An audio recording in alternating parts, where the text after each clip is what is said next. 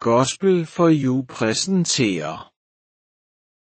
Det handler om sandhedens ord Jesus, Gud og den hellige ånd. Ikke om navne på mennesker.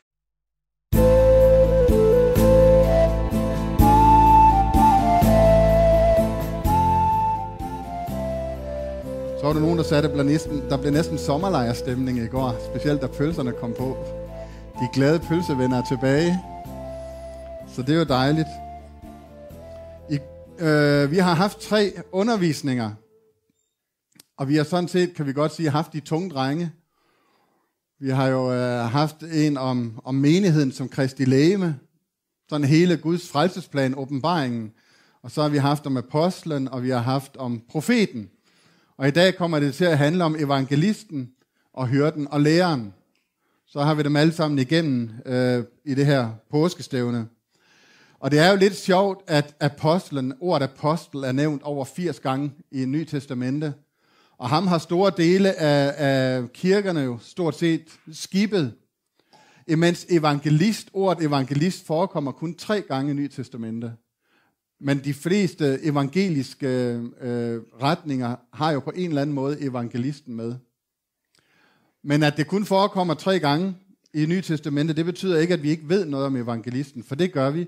Og vi har jo specielt Filip, som vi kan kigge på, Filip, evangelisten. Og hvis vi tror på, at der ikke er noget tilfældigt i Guds ord, heller ikke i apostlenes gerninger, så kan vi lære rigtig meget ud af at læse om Filip. Øh, der kan vi se rigtig meget, hvad en evangelist er. Men vi starter med Jesus. Vi siger, at Jesus han udtrykker alle fem tjenestegærninger, og hvis vi starter med at slå op i Lukas evangeliet, det fjerde kapitel, og vers 16. Lukas 4, 16 til 19.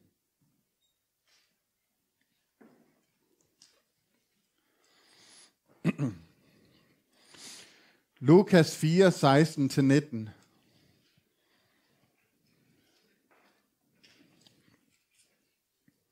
Godt at slå op i, i sin bibel og se det på skrift også. Der står der sådan her, han, og det er jo Jesus, kom også til Nazareth, hvor han var vokset op.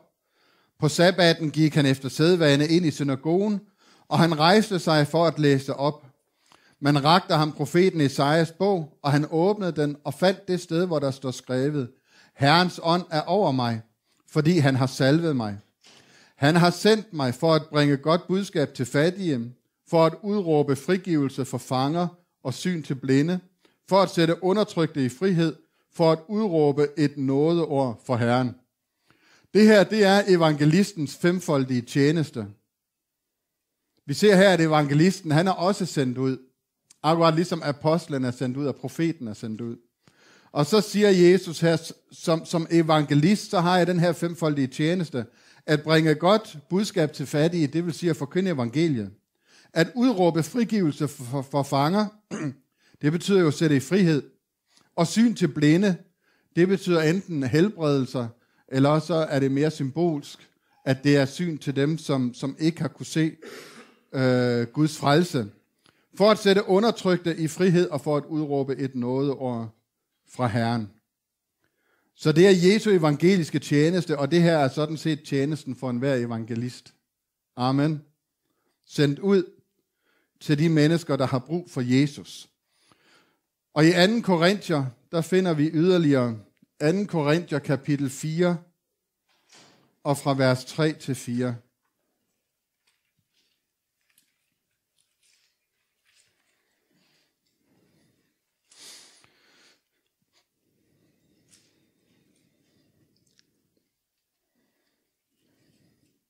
Anden Korinther 4, 3-4. Og er vort evangelium tilhyllet, er det kun tilhyllet for dem, der fortabes. For dem, der ikke tror. Deres tanker har denne verdens Gud blindet, så de ikke ser lyset, der stråler fra evangeliet om Kristi herlighed, Kristus, som er Guds billede. Så det evangelisten gør, men det som vi alle sammen jo gør, det er at bringe evangeliet om Kristus til mennesker, som er forblindet af denne verdens fyrste, og sætte dem i frihed. Vi læste før fra Lukas om, hvordan Jesus han gik ind i synagogen, og så tog han øh, Esajas-rullen, og så begyndte han at læse op fra Esajas 61. Men hvis vi lige prøver at slå op på Esajas 61, så vil jeg bare lige vise jer, hvor, øh, hvor nøgteren, hvor nøjagtig Jesus var i det, han valgte at læse. Esajas 61 fra vers 1.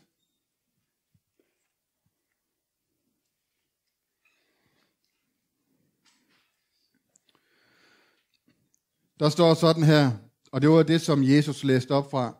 Gud, Herrens ånd er over mig, fordi Herren har salvet mig.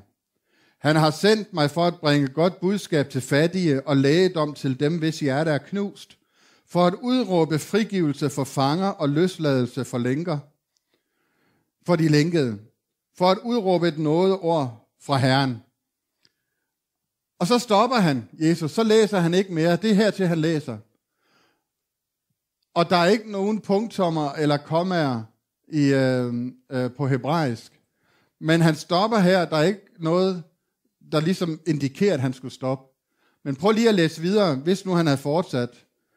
Jeg er kommet for en hævndag fra vor Gud, for at trøste alle, der sørger, for at give Sions sørgende hovedpynt i stedet for aske, glædens olie i stedet for sørgedragt, og lovsang i stedet for svigtende mod.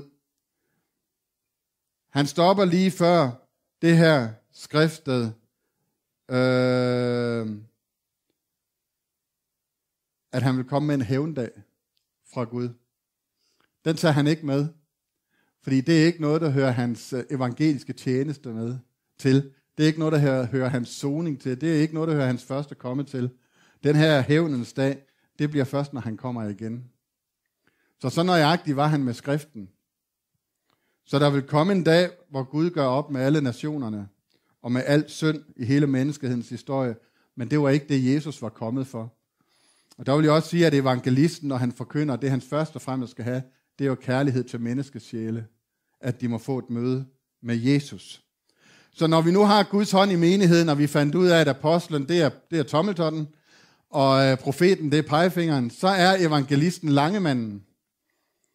Han er den længste. Han er den, der rækker længst ud. Han er sådan lidt en, en savl. Han er et hoved højere end de andre, på de fleste hænder i hvert fald. Han er den, der holder de store møder. Her kommer der mange mennesker, her sker der helbredelser og store ting. Så man vil gerne ligesom øh, med til hans møder her. Han er den populære. Og han er lige præcis i midten, fordi han har nemlig brug for på den ene side profeten og apostlen, og på den anden side hyrden og læreren. Han har brug for at være omsluttet af de andre tjenester, for at han kan holde sig på plads. Så evangelisten står aldrig alene, og nu vil jeg gerne, hvis børn og så det sjæle lige lukker øjnene et øjeblik, for jeg vil bare lige meget, meget, meget kort vise, hvad der sker, når evangelisten står alene. Det går simpelthen ikke. Så han skal stå sammen med de andre, ellers så går det galt. Og det ser vi også, når vi kigger bare ud i vores eget land de sidste årtier. Der har vi jo set, at når evangelisten frigør sig fra resten af menigheden, så går det galt. Han må ikke stå alene. Han skal stå sammen med de andre fire tjenester og have opbakning fra dem. Prøv at se Apostlenes Gerninger 6, kapitel 1-7.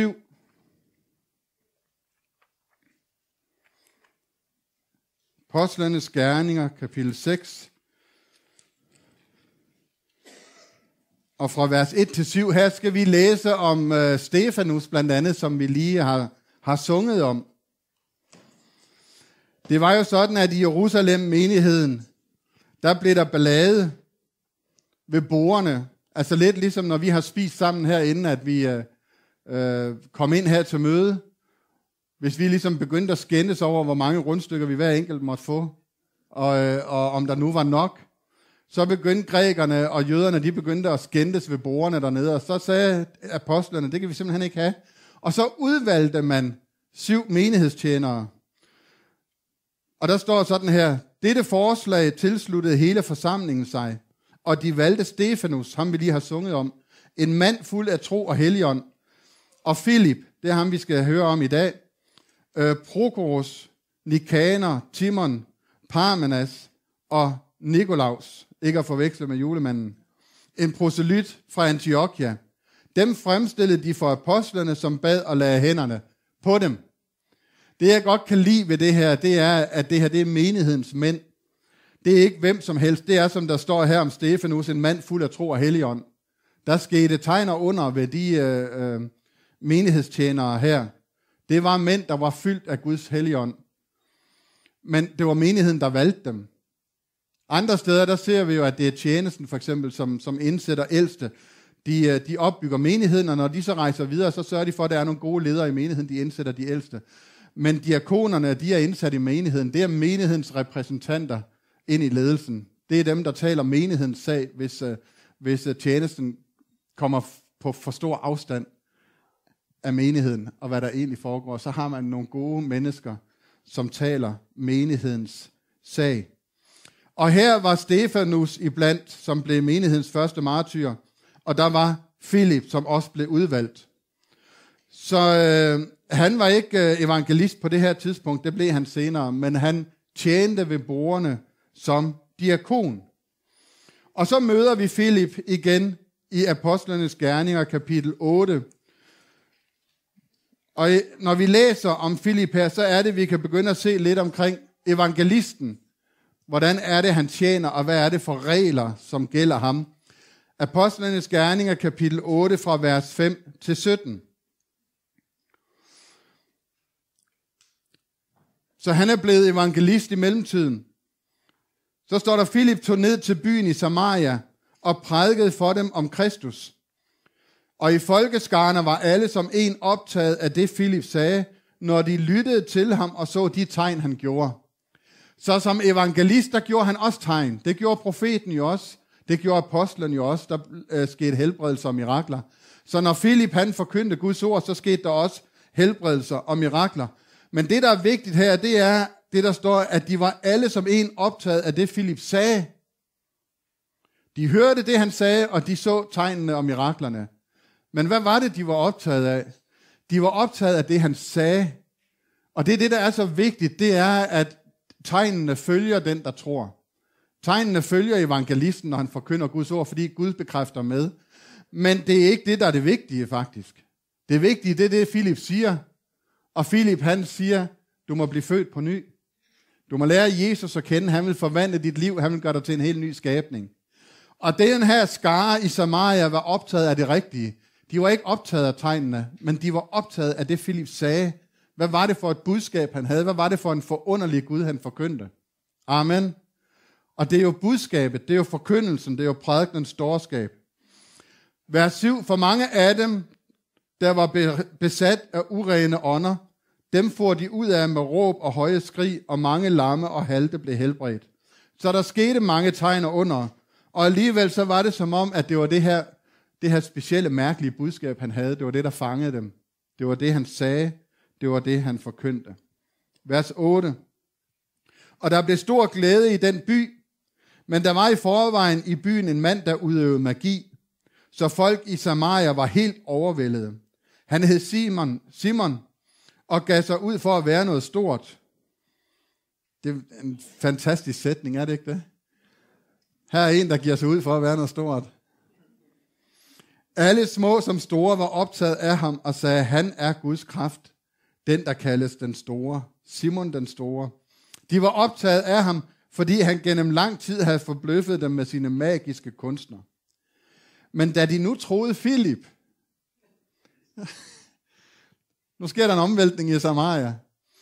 Og hvorfor er det, de tror Filip? Jamen det er ikke først og fremmest på grund af tegnene, det er jo det, der står, men han siger noget, som rammer dem i hjerterne. Og da de nu troede Filip, der forkyndte evangeliet, så det er igen, der, der står ikke, da de nu troede Filip, som, som øh, fik de lamme til at gå, og fik de urene ånder til at gå, men da de nu troede Filip, der forkyndte evangeliet, om Guds rige og om Jesu Kristi navn, lod de sig døbe, både drenge og piger. Både mænd og kvinder, undskyld. Både mænd og kvinder. Så de lod sig døbe, fordi Filip forkyndte evangeliet. Og det, der er specielt her, det er, at Philip, når han forkyndte evangeliet, så siger han ikke bare, jamen du skal også tro på, der er mere imellem himmel og jord, og, og, og Gud findes også et sted. Men i hans forkyndelse, der var selv dåben med. Så når han var færdig med at forkynde Kristus, så sagde de alle sammen, vi vil gerne døbes. Fordi dåben var med i evangeliet. Vers 13. Ja, også Simon selv kom til tro, og da han var blevet døbt, holdt han sig hele tiden til Filip, og var forbløffet over de tegn og mægtige gerninger, han så. Så der var en lille forskel på troldmanden Simon, og så på resten i Samaria. Det var det, han var forbløffet over. Det var tegnene og miraklerne. Det var det, han ligesom fokuserede på. Det var det, der var stort for ham. Fordi han havde jo gjort nogle magiske kunstner, eller måske var det bare tryllekunster. Og her der så han rigtige tegn og mirakler. Så mens alle andre var optaget af evangeliets forkyndelse, så var han optaget af de mægtige gerninger. Han så, vers 14, da apostlene i Jerusalem hørte, at Samaria havde taget imod Guds ord, sendte de Peter og Johannes ned til dem. Da de kom derned, bad de for dem om, at de måtte få heligånden. For den var endnu ikke kommet over nogen af dem. De var kun blevet døbt i Herren Jesu navn. De lagde hænderne på den, og de fik heligånden. Så det vigtige her, det er, at Filip som evangelist her til Samaria forkynder Guds ord. Mennesker bliver frelst, og han døber dem i vand. Og da apostlerne i, me, i, øh, i menigheden i Jerusalem hører det, så tager de op, fordi de skal også døbes med den hellige ånd. Og her, der ligger der, der ligger der en hemmelighed. Jeg tror alle, jeg tror vi alle, det, det ved vi jo af erfaring, kan være med til at, at bede til, at mennesker må blive, må blive døbt med den hellige ånd. Men det her med den hellige ånd, og det her med nådegaver og frugt, det er noget, der hører til i menigheden. Og Filip han blandede sig ikke i det. Filip han forkyndte evangeliet, og når de tog imod Jesus, så døbte han dem i vand. Da de skulle døbes med den hellige ånd, så overlod han dem til apostlerne i Jerusalem. Han overlod dem til menigheden. Og apostlerne de kom op og bad for dem, at de måtte blive døbt med den hellige ånd. Amen. Så det ligger der et budskab i, at evangelisten Filip, han danner ikke selv menighed. Han samler dem ikke om sig selv, men han gør det, han er kaldet til. Og når han er nået til vejs ende med mennesker i sit kald, så overlader han dem til apostlerne. Han har ingen ejerfornemmelse. Han overlader dem til menigheden, og menigheden fortsætter med at, at bede for dem, at de må blive døbt med den hellige ånd, og går i gang med at oplære dem og danner menighed. Og det, der er vigtigt, det er, at evangelisten, han kan ikke gøre disciple. Han vil tabe dem. Den, der kan gøre disciple, det er selvfølgelig apostlen, og ellers så er det jo læreren, og det er hyrden. Så når evangelisten har forkyndt evangeliet, og de har taget imod Jesus, så giver han dem videre til menigheden, for at de kan blive en del af Kristi lægeme. Det er en god evangelist, der gør det.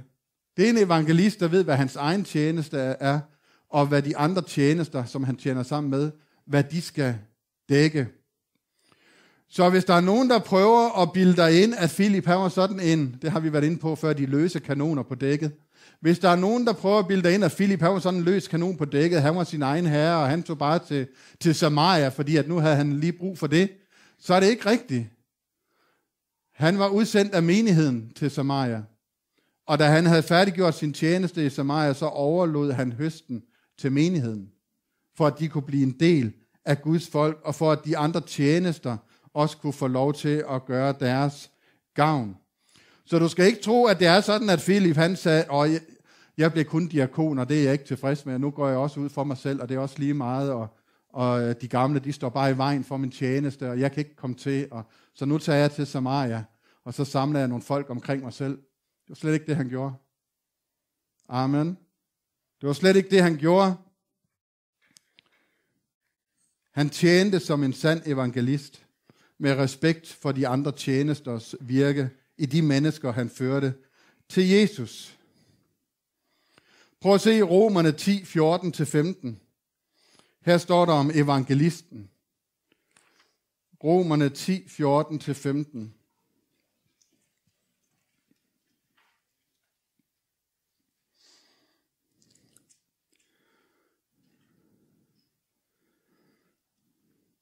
Romerne 10, 14-15 om evangelisten. Men hvordan skal de påkalde ham, som de ikke er kommet til tro på? Det er mennesker, der ikke har hørt evangeliet. Hvordan skal de påkalde ham, som de ikke er kommet til tro på? Hvordan skal de tro på ham, som de ikke har hørt om? Hvordan skal de høre, uden at nogen prædiker? Og hvordan skal nogen prædike, uden at være udsendt? Og så kommer evangelistens øh, ord, som der står skrevet, hvor herligt lyder fodtrinene af dem, der bringer godt budskab. Og det her godt budskab, det er det samme som det gode evangelium. Hvor herligt er lyden af fodtrinene af dem, der bringer godt budskab. Så når du har mennesker, som ikke kender Jesus, hvordan skal de komme til at tro på Jesus, hvis øh, de aldrig har hørt om ham? Hvordan skal de komme til at høre om ham, hvis der aldrig er nogen, der prædiker for dem? Og så kommer det. Hvordan skal nogen prædike for dem, hvis de aldrig er nogen, der er blevet udsendt? Så du kan være sikker på, at Philip han var udsendt. Ligesom en hver evangelist, der står på Bibels grund med en menighedsåbenbaring. Han er udsendt af tjenerne i menigheden. Og han er ikke sin egen herre uden ansvar for andre. Hvis vi tager missionsbefalingen, prøv at se Matthæus 28, 19-20. Matthæus 28, 19-20, og det kan godt være, at den sådan rigtig først kommer i, sin, i sit fulde flor i tusindårsriget, men missionsbefalingen har, har kirken jo taget til sig igennem alle de her 2000 år, som værende kirkens. Så prøv lige at se i forhold til det, hvad Philip han gør. Matthæus 28, 19-20. Der står, gå derfor hen og gør alle folkeslagene til mine disciple, i det I døber dem i faderens og søndens og helligåndens navn. Og i det I lærer dem at holde alt det, som jeg har befalet jer. Og se, jeg er med jer alle dage ind til verdens ende. Prøv lige at se vers 19 igen. Gå derfor hen og gør alle folkeslagene til mine disciple, i det I døber dem i faderens og søndens og helligåndens navn. Hertil virker Filip, og ikke længere. Det er, det, det er hans virke som evangelist. Det, der kommer bagefter, i det I lærer dem at holde alt det, som jeg har befalet jer, det er lærerens og hyrdens opgave. Så det blander Filip sig ikke i. Filip han tager sig af den første del af missionsbefalingen, og så overlader han de nyfrelste til læreren og hyrden, der tager sig af anden del af missionsbefalingen.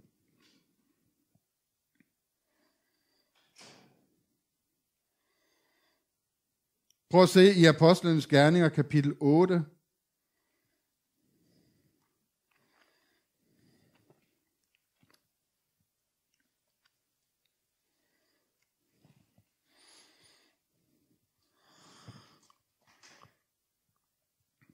Apostlenes Gerninger, kapitel 8, fra vers 18. Men da Simon så, at ånden blev givet ved apostlenes håndspålæggelse, kom han med penge til dem og sagde, giv også mig den magt, at den jeg lægger hænderne på, får heligånden. Han var ikke optaget af Philips ord, han var optaget af alle miraklerne. Af en eller anden grund, da han så heligåndsdåben, så glemte han alt om miraklerne, så sagde han, det vil jeg også kunne. Jeg vil også kunne lægge hænder på, på mennesker, så de får heligåndsdåben. Og for mig må det jo betyde, at han, han har set lamme, der gik, og døve, der hørte, og blinde, der fik synet igen.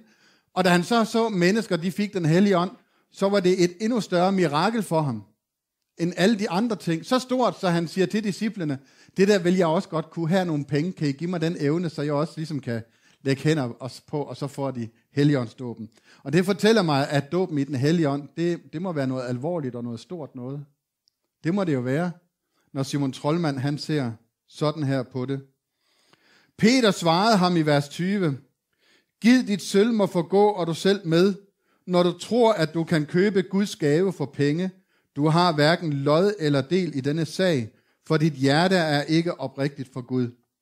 Omvend dig derfor fra din ondskab og bed Herren om, at du må få tilgivelse for det, dit hjerte pynser på. For jeg ser, at du er fuld af gift og galle og lænket til i uretfærdighed. Men Simon svarede ham, gå i forbøn for mig hos Herren, så der ikke skal ske mig noget af det, i har sagt. Så det var sådan, det endte med Simon Trollmann. Og hvis vi læser videre fra vers 26, så er vi tilbage ved vores øh, evangelist, Philip. Og der står videre om ham sådan her. Herrens engel talte til Philip og sagde, bryd op og gå syd på, at den vej, der går fra Jerusalem til Gaza, den er øde. Og jeg synes, det var helt fantastisk, at Philip, han står midt i en kæmpe vækkelse. Det er hans budskab, der har lagt masser af mennesker til menigheden. De kommer for at lytte til evangeliet. Og i stedet for ligesom at høste af det, så forlader han det hele. Men jo ikke til dem selv, vel? Apostlerne er der. Så han overlader dem bare til nogle andre tjenester. Og så går han ud på en øde vej. Han skaber ikke den her menighed omkring sig, men han overlod, og han går ud på en øde vej. Lidt ligesom for at fortælle, at når evangelisten er færdig med sit arbejde, og har overladt menneskerne til menigheden og til menighedens tjenere, så kan Gud gå i gang et nyt sted. Og fra måske tusindvis af mennesker, så kommer han ud et sted, hvor han møder kun ét menneske, nemlig den etiopiske hofmand. Men jeg tror, at Stefanus også er under inspiration, for hvis I kan huske, Jesus, han gik igennem Samaria. Der stod faktisk, at Jesus måtte gå igennem Samaria. Det var ikke et valg, han tog. Han måtte igennem Samaria. Og så kan man spørge, hvorfor? Og i Samaria, det var der, han mødte den samaritanske kvinde, øhm, og flere andre. Så jeg tror, at grunden til, at Jesus måtte igennem Samaria, det var fordi, at nogle år senere, så kom Filip. Og vi kan jo spørge, hvorfor var det så nemt for Filip at forkynde for dem i Samaria? Det var fordi, der var allerede plantet et frø, et sæd ved Jesus, da han gik igennem. Så de havde allerede en eller anden fornemmelse af, hvad det var, Filip han forkyndte. Og det kender I også godt. I ved godt, at i gamle dage, da alle gik i søndagsskole, når de så blev voksne, og vi havde torvemøde, så, så var der allerede et sæd hos, øh, i hjerterne hos de mennesker, så når de blev voksne og hørte evangeliet, så var det som om, at man ramte noget, der allerede var der. Og det er lidt sværere i dag, hvor der slet ikke kan ramme noget, hvor det er fuldstændig goldt, når vi forkynder evangeliet hvor, hvor vi skal starte helt forfra. Forstår I tanken i det? Og jeg tror, at det er sådan her, da Philip kom til Samaria, der var der allerede plantet et sæd, øh, et korn. Så da de hørte Philip, så var der, det sagde dem et eller andet. Jesus havde allerede været omkring. Vers 27. Og Philip brød op og gik, og der var en etiopier, en mægtig hofmand hos etiopiernes dronning Kandake som forvaltede alle hendes skatte. Han var kommet til Jerusalem for at tilbede, og var på vej hjem og sad i sin vogn og læste profeten Esajas. Ånden sagde til Filip, gå hen til den vogn og hold dig tæt op af den. Filip løb derhen, og da han hørte manden læse op af profeten Esajas, spurgte han, forstår du også det, du læser? Han svarede, hvordan skal jeg kunne det, når der ikke er nogen, der vejleder mig? Og han bad Filip om at komme op i vognen og sætte sig hos ham. Det afsnit i skriften, han læste, var dette som et får, der føres til slagtning, som et lam, der er stumt, mens det klippes. Således åbnede han ikke sin mund. I fornedrelsen blev hans dom taget bort. Hvem kan fortælle om hans slægt? For hans liv blev taget bort fra jorden. Hofmanden spurgte Filip, jeg beder dig, sige mig, hvem er det profeten taler om? Er det om sig selv eller om en anden? Og så står der, Filip tog til ord, og han begyndte med dette skriftet og forkyndte evangeliet om Jesus for ham. Så ud fra det her skriftet i Esajas 53, så forkyndte Filip hele evangeliet for hofmanden. I den gamle oversættelse står der, i det han gik ud fra dette skriftet. Og det fortæller mig, at øh, evangelisten, han kender også en bibel.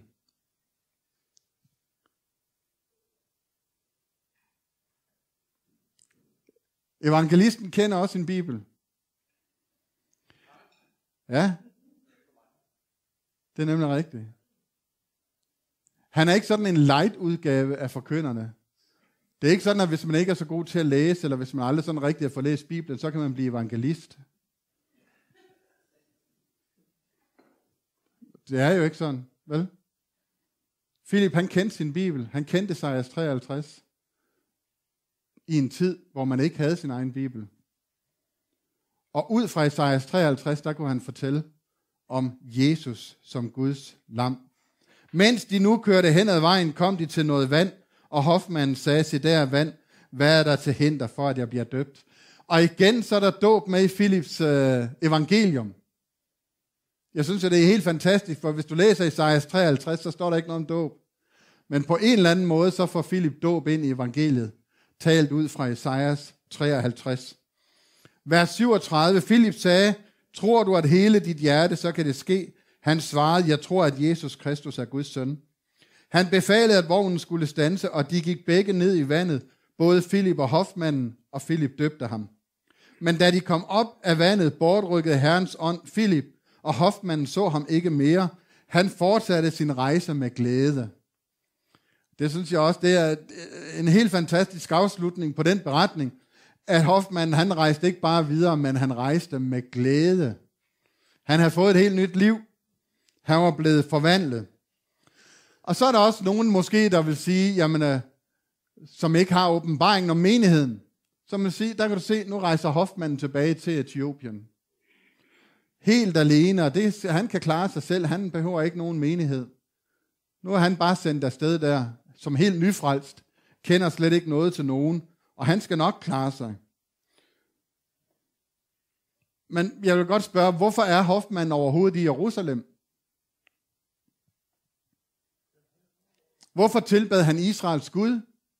Hvorfor sidder han oppe i vognen med, med en Esajas-rulle?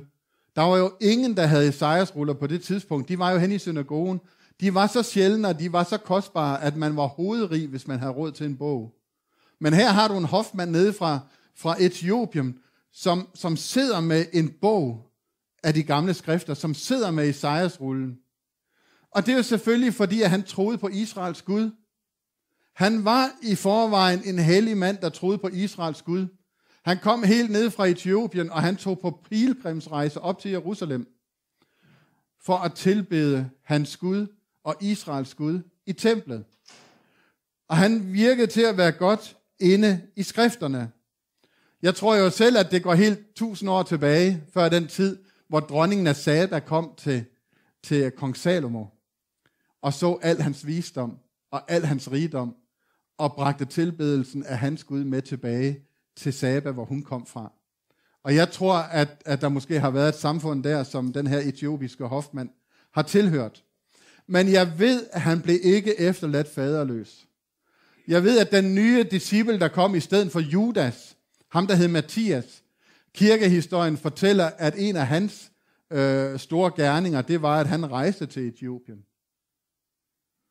Så selvom der måske gik nogle år, hvis, hvis den etiopiske hofmand ikke havde en menighed i forvejen dernede, det havde han jo nok ikke. Han var jo nok den, der bragte evangeliet tilbage til, øh, til Etiopien. Men der gik ikke ret mange år, så stod der en apostel nede ved siden af ham, der hed Mathias. Amen. Og dannede menighed sammen med ham. Vers 40. Philip blev senere set i Asdod, og han forkyndte evangeliet i alle de byer, han drog igennem, indtil han kom til Caesarea. Når nu vi snakker om sådan øh, tjenere, sådan apostler, profeter, evangelister, hyrder og lærere osv., og hvem er de største, og hvem er de mest, så vil jeg bare lige sige en ting. Der er kun én ud over Elias, der er blevet bortrykket. Og det er evangelisten Philip. Der er ingen af de overmåde store superapostler, der blev bortrykket. Ingen af de store profeter blev bortrykket, men evangelisten Philip, han er den eneste, der på samme måde som Elias har fået lov til at opleve at blive bortrykket. Det er da stort. Så han var sammen med hofmanden, og så pludselig så var han der ikke, for Herrens ånd bortrykkede ham.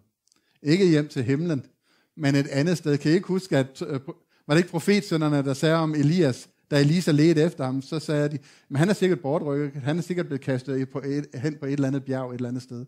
Som om, at det var noget, de var vant til, at uh, Elias, så blev han bortrykket her, så, så blev han kastet hen på det bjerg, og så, så blev han set der i landet og så videre. Så uh, på samme måde, så blev uh, Philip her bortrykket til et andet sted. Jeg talte med en, en præst fra en anden frikirke, undskyld udtrykket, præst, øh, for et stykke tid siden. Og så sagde han til mig omkring evangelister, så sagde han, ja, det er jo nogle ekstreme nogen. De er jo, de er jo svære at styre. Det er jo, det er jo sådan nogle, de gør sådan, hvad det passer dem, og vi må jo prøve at rumme dem øh, så godt vi kan, fordi det er nogle specielle typer, de der evangelister. Og så tænkte jeg sådan lidt, det er jo kun fordi, vi har haft så mange dårlige eksempler de sidste mange år, at vi er nødt til at sige sådan. Vi har haft så mange dårlige eksempler på, på evangelister, at vi er nødt til at sige, at det er åbenbart sådan, ja. Så må vi jo prøve at se, om vi kan rumme det. Nej, nej da. Det skal vi da ikke. Man skal da opføre sig ordentligt, selvom man er evangelist.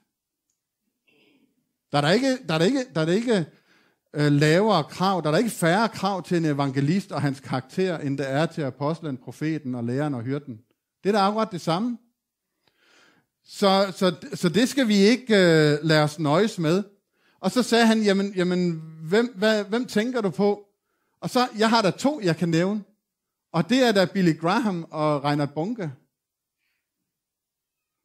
De har måske nok gjort nogle fejl i deres liv, men de har der begge to en karakter, hvor jeg, hvor jeg vil sige, at hvis du vil være evangelist, så er det da der, du skal stræbe efter.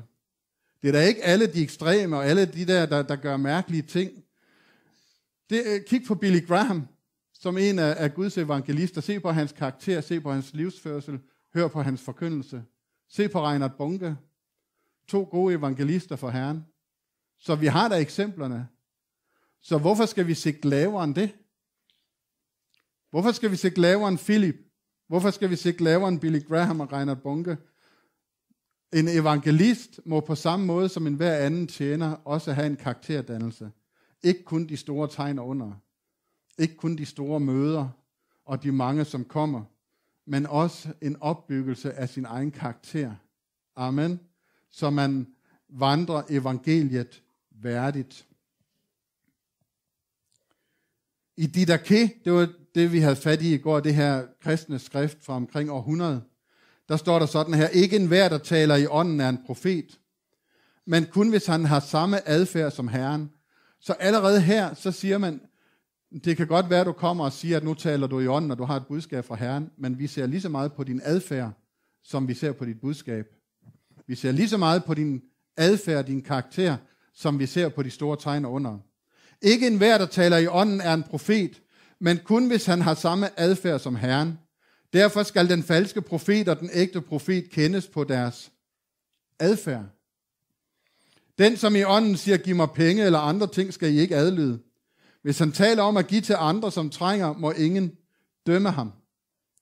Så det var bare for at sige, at, at, at også efter øh, det sidste skrift i Bibelen, lægger man meget, meget vægt på karakter og på adfærd. Så der gælder de samme regler for evangelisten, at han må opbygges i, i sin karakter, såvel som i sin indsigt i skriften, såvel som i sine kraftige øh, gerninger under ordets forkyndelse. Og så vil jeg slutte af øh, med beretningen om tordensønderne, når nu vi taler om karakter, og når nu vi taler om Samaria. Fordi da Jesus måtte igennem Samaria, der vil de ikke tage imod hans budskab. De vil ikke tage imod ham. Og Jakob og Johannes, som blev kaldt tordensønderne, de sagde til Jesus, ved du hvad Jesus, du er jo Israels konge, det skal vi ikke finde os i det der. Nu synes jeg bare, at du skal sige til, så skal vi lade ild falde ned fra himlen over Samarias indbyggere. Så de var, de var med kongen. Og så siger Jesus til dem, I ved ikke, hvad ånd I er af. Det er slet ikke det, jeg, det, er ikke det budskab, jeg er kommet med. Det er ikke evangeliet. Det er med, at nu skal der fare ild ned over Samarias indbyggere.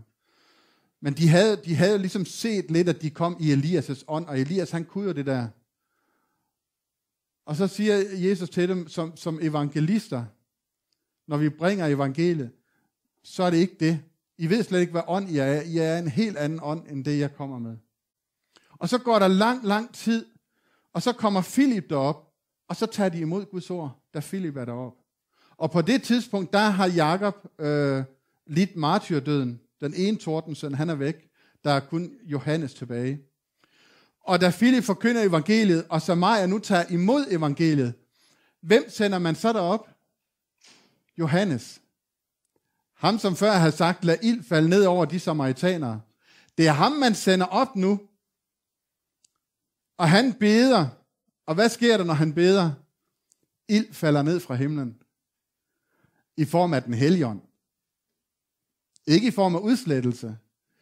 Men den gamle tordensøn, det er ham, jeg tror jo, at der er en mening med det her. Det er jo ham, der bliver sendt op, for at han nu kan få lov til at bede ild ned over den nye forsamling, som er skabt i Samaria. Nemlig den helligånds ild, og ikke dommens ild. Amen.